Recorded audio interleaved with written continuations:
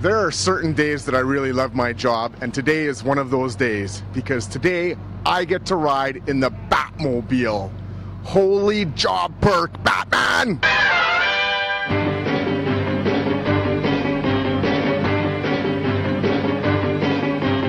I'm here with Shelly Ostrov doing public relations for the World of Wheels show this weekend, April 5th to 7th at the Winnipeg Convention Center.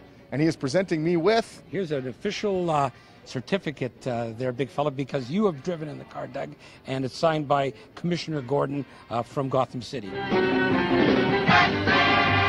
The show really is built around the whole family, and that's really what the uh, World of Wheels is about. It's about the families, and that's really the growth of the show.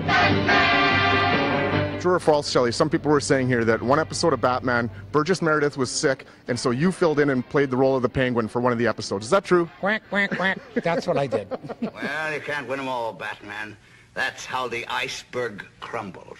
Wah, wah, wah, wah. Everybody come by and take your pictures and have your pictures taken with the uh, with the Batmobiles. Are we going to Gotham City? I hope so if we don't run out of gas. That was awesome. Like living a dream, something you'd never think you'd ever do as a kid. I got to ride in the Batmobile. Very cool. Best day of work for this week.